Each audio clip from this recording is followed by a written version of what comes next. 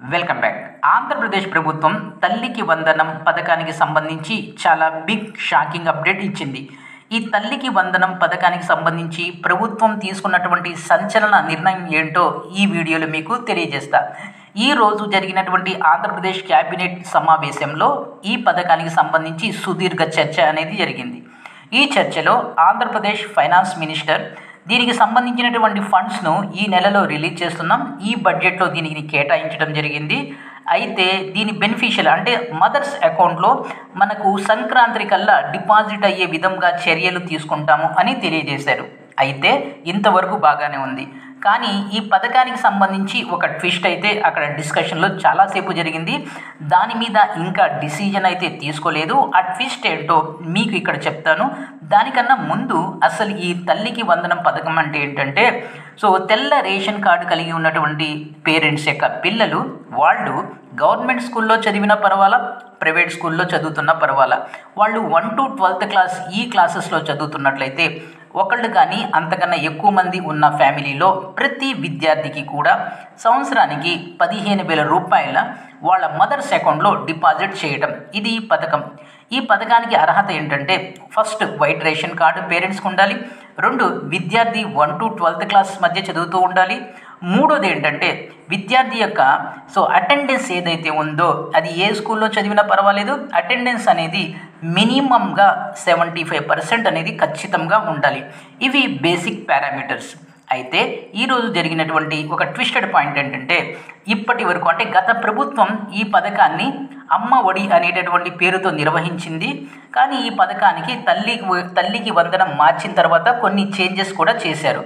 ఇక ఈ తల్లికి వందనం పథకం క్రింద లబ్ధి పొందాలి అన్న పేరెంట్స్ అది వరకు పేరెంట్స్ అకౌంట్లో అంటే తల్లి అకౌంట్లో పదిహేను వేల రూపాయలు టెన్షన్గా కరెక్ట్గా డిపాజిట్ అయ్యాయి. కానీ ఈరోజు జరిగినటువంటి చర్చలో ఒక కొత్త పాయింట్ అనేది రైజ్ అయింది.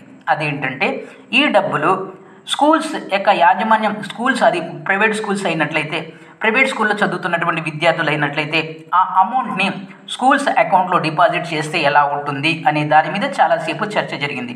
ఎందుకంటే ముఖ్యంగా టెన్త్ క్లాస్ చదువుతున్నటువంటి విద్యార్థులు ఎవరైతే ఉన్నారో రాబోయేటటువంటి పబ్లిక్ ఎగ్జామ్ అప్పుడు ఆయా స్కూల్స్ హాల్ టికెట్లు ఇచ్చే విషయంలో వాళ్ళు కనుక ఫీజు డ్యూ ఉన్నట్లయితే ఫీజు చెల్లించ చెల్లించని పక్షంలో హాల్ టికెట్ ఇచ్చే విషయంలో చాలా ఇబ్బందుల్ని క్రియేట్ చేస్తారు. అలాంటి ఇబ్బందులు రాకుండా ఉండాలి అంటే ఈ డబ్బు ఏదైతే ఉందో అది స్కూల్స్ అకౌంట్లో డిపాజిట్ చేసేసినట్లయితే విద్యార్థులు చాలా ఫ్రీగా హాల్ టికెట్ పొందొచ్చు. వాళ్ళు చాలా కంఫర్ట్గా చదువుకొని కంఫర్ట్గా పబ్లిక్ ఎగ్జామ్ రాయవచ్చు అనే ఒక పాయింట్ అయితే రైజ్ అయింది. అయితే దీని మీద కొంతమంది ఇలా చేస్తే బాగుంటుందని కాదు యా యూజువల్గానే మదర్స్ అకౌంట్లో డిపాజిట్ చేస్తే బాగుంటుంది అనే దాని మీద ఒక సుదీర్ఘ టైం పాటు చర్చ జరిగింది. అయితే దీని మీద ఒక డిసిజన్ అనేది ప్రభుత్వం తీసుకోలేదు. ఎనీహౌ ఈ పథకానికి సంబంధించి ఫండ్స్ అయితే ఈ ఆర్థిక సంవత్సరంలో ఈ బడ్జెట్లో రిలీజ్ అవుతున్నాయి. ఇక ఈ ఫండ్స్ ఎప్పుడైతే మదర్స్ అకౌంట్లో పడతాయో అది మనకు సంక్రాంతి సంక్రాంతి కన్నా ముందు డిపాజిట్ అయ్యేటటువంటి అవకాశాలు ఎక్కువగా ఉన్నాయి. కాబట్టి ఈ పథకానికి సంబంధించి అది మదర్స్ అకౌంట్లో డిపాజిట్ అవుతాయా? లేక ప్రైవేట్ స్కూల్లో చదువుతున్నటువంటి విద్యార్థులైతే ఈ ప్రైవేట్ స్కూల్ యొక్క అకౌంట్లో డిపాజిట్ అవుతాయా అనేది మనకు త్వరలోనే తెలియబోతుంది. ఇది వీడియో. ఈ వీడియో మీద మీ కామెంట్ అనేది తెలియజేయండి. అలాగే వీడియో నచ్చితే లైక్ చేయండి షేర్ చేయండి సబ్స్క్రైబ్ చేసుకొని ప్రక్కనే ఉన్న బెల్ ఐకాన్ని ప్రెస్ చేస్తాం. మర్చిపోవద్దు. Thank you.